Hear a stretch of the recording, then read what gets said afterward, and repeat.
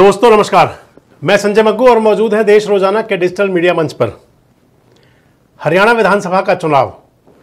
मैं आपसे कई वीडियो में ज़िक्र कर चुका हूँ पहले भी कि हरियाणा विधानसभा चुनाव को लेकर जो कांग्रेस पार्टी के अंदर जिस प्रकार की स्थिति बनी, जिनको लगता था कि अब की बार हरियाणा के अंदर सत्ता में आना तय है या उनकी सत्ता में वापसी हो सकती है दस साल बाद। जहाँ कांग्रेस को झटका लगा, वहीं इस रिज़ल्ट के बाद, चुनाव परिणाम के बाद में। अगर मैं ये कहूँ कि कांग्रेस के जो बड़े नेता हैं, ये चाहे वो प्रदेश स्तर के हैं, चाहे वो राष्ट्रीय स्तर के हैं, इस हार को लगता है पचा नहीं पा रहे। और इस सब के बाद में तमाम प्रकार के जतन प्रयत्न और ये सब चल रहा है। और इसी दिशा में, इसी कड़ी में जो कांग्रेस के प्रदेश अध्यक्ष चौधरी उदय भान ने अभी हाल ही में एक आठ सदस्यीय कमेटी बनाई, जिसके चेयरमैन करण सिंह दलाल हैं, जो ये जांचेगी खासकर हरियाणा के तरेपन उन कैंडिडेट से कांग्रेस के प्रत्याशी, जो विधायक नहीं बन पाए, जो चुनाव हार गए। उनसे बातचीत कर कांग्रेस की ये जो कमेटी बनी है, करण सिंह दलाल के नेतृत्व में, ये कमेटी ये जांचेगी कि आखिर वो चुनाव क्यों हार गए। कल बैठक हुई थी। करण सिंह दलाल उस बैठक के अंदर थे। चौधरी उदय भान जो प्रदेश कांग्रेस के अध्यक्ष हैं, वो थे। और अभी हाल ही में नवनियुक्त जितेंद्र बघेल जो हरियाणा कांग्रेस के सह प्रभारी हैं, जिनकी एकाएक नियुक्ति हुई है, जिसका पता भी नहीं चला तो उस बैठक के अंदर जितेंद्र बघेल भी थे। पहले तो मैं आपको बता दूँ कि हरियाणा के अंदर जो कांग्रेस की शिकस्त हुई है, कांग्रेस की जो हार हुई है, उसको लेकर के एक तरफ़ जहाँ पैरलर हरियाणा प्रदेश कांग्रेस कमेटी चल रही है, वहीं अगर मैं ये कह दूँ कि कांग्रेस काला कमान अपने तरीके से इसकी अलग प्रकार से सर्जरी में लगा हुआ है। जितेंद्र बघेल की जो एंट्री हुई, जितेंद्र बघेल को जो हरियाणा प्रदेश कांग्रेस कमेटी का सह प्रभारी बनाया गया और वो भी गुपचुप तरीके से जिसका कुछ पता नहीं चला। तो आप मान करके चलिए कि आने वाले दिनों में हरियाणा कांग्रेस के प्रदेश प्रभारी पद से दीपक बावरिया की सबसे पहले मुक्ति हो सकती है, छुट्टी हो सकती है। यानी कि हरियाणा प्रदेश के जो प्रभारी थे दीपक बावरिया हैं, जो अस्वस्थता के चलते खुद भी कह चुके हैं कि वे काम नहीं संभाल सकते लगता है कि सबसे पहले उन्हीं पर गाज गिरने वाली है। खैर, मैं आपसे बात कर रहा था कि तरेपन कैंडिडेट्स तरेपन प्रत्याशियों के साथ बातचीत और उसके बाद में ये निकाला जाएगा कि आखिर हार क्यों हुई। दोस्तों, महत्वपूर्ण सवाल आता है कि क्या हारने वाला प्रत्याशी बता सकता है पूरी तरह से कि हार का कारण क्या था? क्या किसी भी परीक्षार्थी को पता लग पाता है कि वो परीक्षा में आखिर फेल क्यों हुआ? क्योंकि परीक्षार्थी हमेशा कहता है कि उसने तो पेपर बड़ा अच्छा किया था। उसने तो पेपर के अंदर सारे क्वेश्चन सॉल्व किए थे। परीक्षार्थी तो ये कहता है कि जिस प्रकार का उसकी परीक्षा हुई थी, उसके हिसाब से तो उसकी कम से कम मेरिट आनी चाहिए थी, लेकिन वो फेल हो जाता है। और जब वो परीक्षा में फेल होता है तो फिर जो दोषारोपण हुआ करता है। परीक्षार्थी कभी ये नहीं कहता कि मेरी तैयारी कमज़ोर थी। परीक्षार्थी हमेशा ये कहता है कि आउट ऑफ़ सिलेबस क्वेश्चन आ गए थे।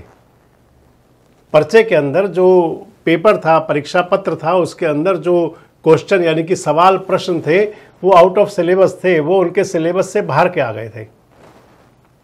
बात दोस्तों यह भी आती है कि जब वो पर्चा होता है और पर्चे से, होने से लेकर के और उसके रिज़ल्ट में, अगर सेम ऐसे ही कह ले जो इलेक्शन की प्रोसेस है, कि चुनाव होने से लेकर के और चुनाव का परिणाम आने तक एक समय ज़रूर होता है। हरियाणा विधानसभा का ही देखें कि पाँच अक्टूबर को चुनाव हुआ था और आठ अक्टूबर को चुनाव का रिज़ल्ट आया था। चुनाव होने के बाद में पाँच अक्टूबर से लेकर के और आठ अक्टूबर की दोपहर तक कांग्रेस का कोई भी नेता ये मानने को तैयार नहीं था कि उनकी परीक्षा ठीक नहीं हुई।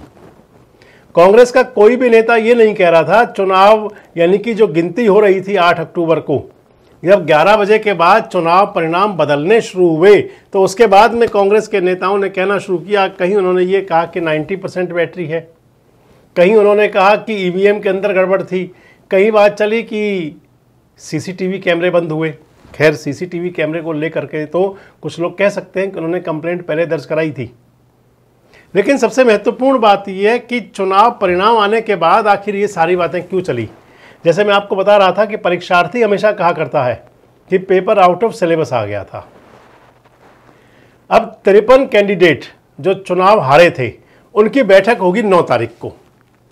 नौ तारीख को उनकी बैठक होगी और उस बैठक के अंदर कांग्रेस के जो जो फैक्ट फाइंडिंग कमेटी हरियाणा की बनी है, जिसके अंदर करण सिंह दलाल है, जिसके चेयरमैन है करण सिंह दलाल, और उस कमेटी में जिसमें मेंबर हैं आफ्ताब अहमद, जिसके अंदर मेंबर हैं विजय प्रताप सिंह, जिसके अंदर मेंबर हैं वीरेंद्र बुल्ले शाह, जिसके अंदर मेंबर हैं वीरेंद्र सिंह राठौर, जिसके अंदर मेंबर हैं भाटिया साहब, ये तमाम जो नेता जिसके अंदर सदस्य हैं और वो बैठ करके जाँच करेंगे कि आखिर हार क्यों हुई। मनीषा सांगवान भी होंगी उनके अंदर। जो एक कमेटी बनी है दोस्तों, इसके अंदर पाँच लोग तो वो हैं जिन्होंने अभी विधानसभा का चुनाव हारा। उनमें मनीषा सांगवान है, उनमें करण सिंह दलाल हैं, उनमें वीरेंद्र सिंह राठौर है, उनमें वीरेंद्र बुल्ले शाह हैं तमाम, उनमें विजय प्रताप सिंह हैं। ये पाँच तो वो नेता हैं जिन्होंने अभी हाल का विधानसभा चुनाव हारा और तीन लोग इस कमेटी के अंदर और लिए गए हैं। चुनाव हारने वाले लोग क्या जवाब देंगे? अब कांग्रेस की जो कमेटी बनाई गई है, राजनीतिक सूत्र बता रहे हैं कि ये कमेटी उन कैंडिडेट से कह रही है जो चुनाव हारे थे। उनसे कह रही है कि वे तमाम तथ्यों के साथ आए, तमाम प्रूफ रिकॉर्ड और गवाहों के साथ आए कि आखिर वो चुनाव कैसे हारे थे। वैसे बातें बड़े गजब की हैं। बातें बहुत गजब की हैं कि वो अपने रिकॉर्ड के साथ आए। अब आखिर उसका रिकॉर्ड कैसे मिलेगा जिसके अंदर वो बताएँ कि कांग्रेस के फला नेता उनके खिलाफ थे। वो कैंडिडेट, चाहे उस कमेटी के मेंबर हैं और चाहे कमेटी के मेंबर नहीं है, वो कैसे बताएँगे? और फिर जो चुनाव हारने वाले लोग, वो कैसे बताएँगे? हालाँकि जिन्होंने बताना था, शमशेर गोगी, सरीखे लोग तो बता चुके कि भूपेंद्र सिंह हुड्डा जी ने विरोध किया। अम्बाला के जो कैंडिडेट थे परी, वो भी कह चुके हैं कि उनका भी विरोध हुआ, चित्रा सरवारा को बैठने नहीं दिया गया। ये तमाम प्रकार की बातें हैं। लेकिन अब राजनीतिक लोग बता रहे हैं और विभिन्न जो मीडिया पैनलिस्ट हैं या जो वेबसाइट्स पर, पोर्टल पर जो खबरें चलती हैं, वो कुछ ऐसा भी इशारा कर रही हैं कि कांग्रेस की जो फैक्ट फाइंडिंग कमेटी जो बनाई गई हैं, हार की जो समीक्षा कर रही हैं, हार के कारण क्या थे, वो अब इस पर लीगल प्रोसेस में जाने की तैयारी में भी हैं। कानूनी लड़ाई में भी। दोस्तों, एक कानूनी लड़ाई तो कांग्रेस के अंदर भी होनी चाहिए, क्योंकि ये तमाम कांग्रेस के कार्यकर्ता चाहते हैं।